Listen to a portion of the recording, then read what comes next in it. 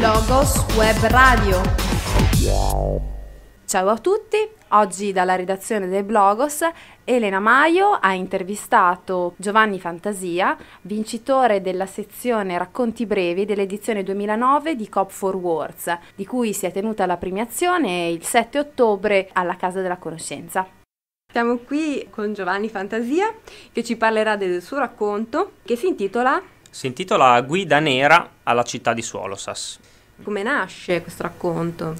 Di fondo c'è un'idea lievemente sarcastica che voleva giocare un po' su, sulla natura della mia città che ha una qualche piccola assonanza appunto con la città del racconto, Suolo, Sassuolo, c'è, c'è qualche S in comune. Si tratta di una, di una sorta di piccola guida nera perché è una guida che ti dice per quali motivi assolutamente non bisogna visitare questa città di Suolosas che è la capitale dell'Oclaina. L'idea di fondo è quella appunto di fare una specie di breve parodia della mia città che non è proprio un'assoluta gioia di vivere, diciamo così. Mm.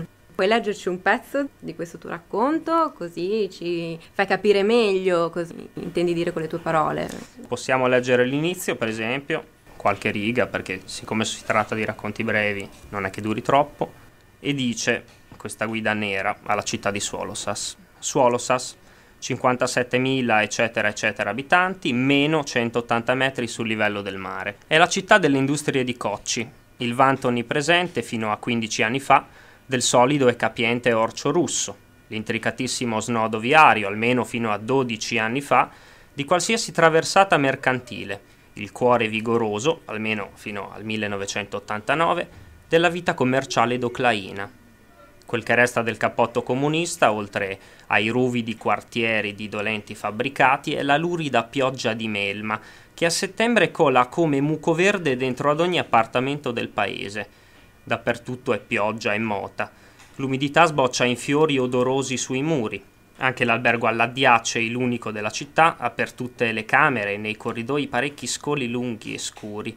Tutt'altro che raro, inoltre, è sentire durante la notte un rumore d'anguille ammazzate in qualche breve intercapedine o parete. Se ci tenete alle ossa, insomma, dormite su un sedile d'automobile piuttosto, o su un qualsiasi sedile possibile in un posto un po' portato e più prudente. Oppure sparite prima ancora che sia buio, almeno alloggiatevi in periferia e via dicendo. Benissimo.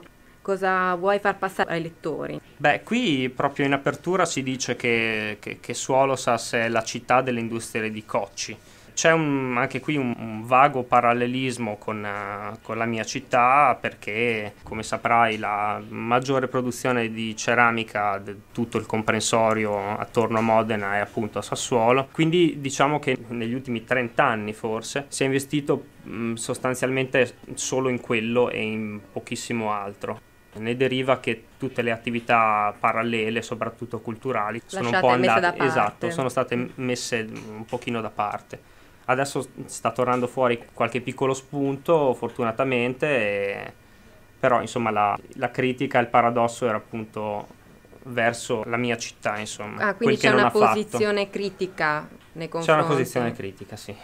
Oltre a questo racconto hai portato qualche altra cosa alla, a Cop for Words oppure era l'unica tua opera? Se ricordo bene, credo di aver portato anche un brano di poesia che non è stato scelto quest'anno, come fu scelto per esempio l'anno scorso, era un appunto ipovisivo, si chiamava un'altra cosa un po' particolare, un po' sarcastica sul senso dell'informazione in generale. Comunque c'è sempre questo spunto sarcastico, dici. Per quale motivo utilizzi lo, il, ehm, il sarcasmo? Ma probabilmente perché si riescono a far passare molti concetti in maniera un po' pochino più lieve, sempre tra virgolette, perché mm. poi in realtà, come vedi in questo racconto, la scrittura non è troppo lieve. Però probabilmente con un po' di sarcasmo si riescono a far passare dei pensieri in maniera più digeribile mm. o appena più digeribile di quanto lo sarebbero per esempio scrivendo eh, non narrativa ma un articolo di giornale piuttosto che un servizio giornalistico di qualsiasi altro tipo ho capito quindi forse fa anche parte di, di un modo di narrare in generale bene e vuoi parlarci di qualcos'altro che ti preme? Ma ti posso dire i miei programmi per uh, i, i, le, le, prossime settimane, nel senso Bene. che No, dico soltanto questo, ci sarà a novembre un romanzo, ehm, non è esattamente un romanzo nel senso canonico del termine, ma c'è una sorta di anti-romanzo che uscirà per eh, Quarup editrice, con una piccola casa editrice molto interessante secondo me di Pescara.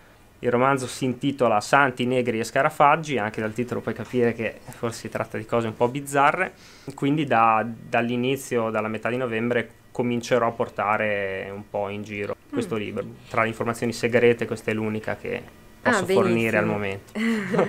Grazie mille a Giovanni Fantasia. Un saluto da Elena Maio, Blogos Web Radio, www.ilblogos.it. Tchau.